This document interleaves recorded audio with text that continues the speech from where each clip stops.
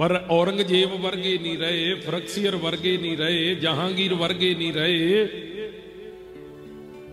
ਰਾਜ ਭਾਗ ਸੱਤਾ ਦਾ ਨਸ਼ਾ ਸਦਾ ਸਿਰ ਚੜ ਕੇ ਜਦੋਂ ਬੋਲਦਾ ਹੈ ਨਾ ਬੰਦਾ ਇਹ ਭੁੱਲ ਜਾਂਦਾ ਵੀ ਅਸੀਂ ਖਰੇ ਸਦਾ ਲਈ ਕੀਲਾ ਕੱਢ ਲਿਆ ਆਖੋ ਸਤਨਾਮ। ਸ੍ਰੀ ਵਾਹਿਗੁਰੂ ਜੀ।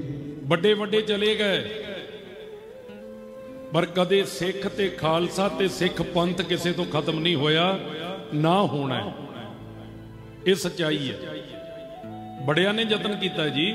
ਜਦੋਂ ਗੁਰੂ ਨਾਨਕ ਮਹਾਰਾਜ 1469 ਵਿੱਚ ਆਏ ਜਦੋਂ ਮਹਾਰਾਜ ਨੇ ਆ ਕੇ ਆਪਣੀ ਸੋਚ ਦੁਨੀਆ 'ਚ ਰੱਖੀ ਵਿਰੋਧ ਤੇ ਉਦੋਂ ਦਾ ਹੀ ਹੋ ਰਿਹਾ ਹੈ। ਆਖੋ ਸਤਨਾਮ। ਸ੍ਰੀ ਵਾਹਿਗੁਰੂ ਜੀ ਵਿਰੋਧ ਉਦੋਂ ਦਾ ਹੀ ਹੈ।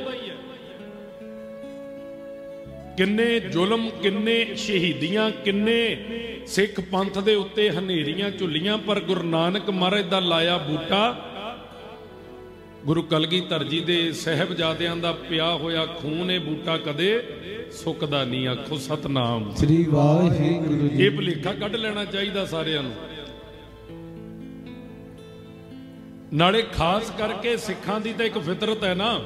ਪਿਆਰ ਨਾਲ ਭਾਵੇਂ ਇਹਨਾਂ ਦੇ ਘੇ ਦੇ ਘੜੇ ਰੁੜ ਜਾਣ ਜੇ ਕੋਈ ਜ਼ਬਰਦਸਤੀ ਕਵੇ ਨਾ ਗਲਾਸ ਪਾਣੀ ਦਾ ਚੁੱਕਣਾ ਹੈ, ਉਹ ਵੀ ਨਹੀਂ ਚੁੱਕਣ ਦੇਣਗੇ ਆਖੋ ਸਤਨਾਮ। ਸ੍ਰੀ ਵਾਹਿਗੁਰੂ ਜੀ। ਜਿਹੜੀ ਕੌਮ ਦੇ ਬਾਬੇ 7 ਤੇ 9 ਸਾਲ ਦੀ ਉਮਰ ਵਿੱਚ ਆਪਣਾ ਸਿਦਕ ਨਹੀਂ ਡੁਲਾ ਕੇ ਗਏ ਤੇ ਫਿਰ ਬਾਕੀ ਕੀ ਡੁਲਾ ਲੈਣਗੇ ਜੀ?